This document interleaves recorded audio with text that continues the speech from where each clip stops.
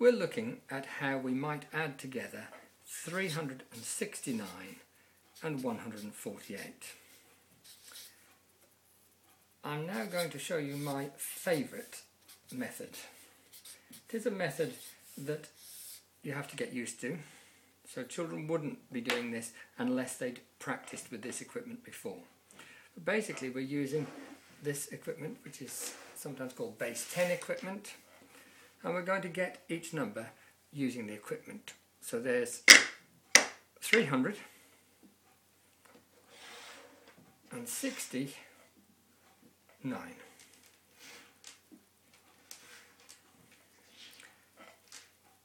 The colours of the equipment actually don't matter, it just happens to be the, the things I've got at the moment. There's the 369 and now I'm going to get the 148 so I've got 100 and 40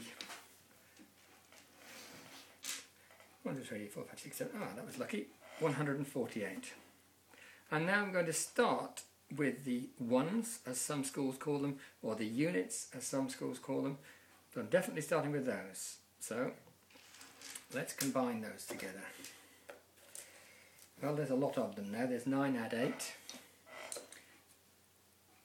but if you line them up with a stick you'll soon find, and the child will soon find, that there's more than 10.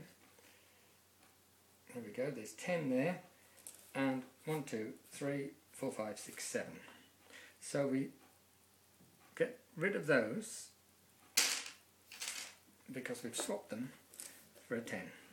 So now we've got 7 units and we've got one extra 10.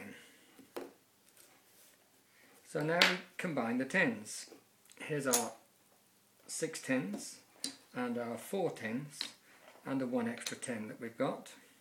These are a bit easier to handle and it's very easy to see that actually we've got 10 tens, which is 100, and the one other 10. So I'm moving those out of the way. That means we've got now a 10 and one extra hundred. Now we gather together the 300s and the 100 and the 100 that we've just found and all together we've got 500s. So we now have 500s, 110, 7 units, 517.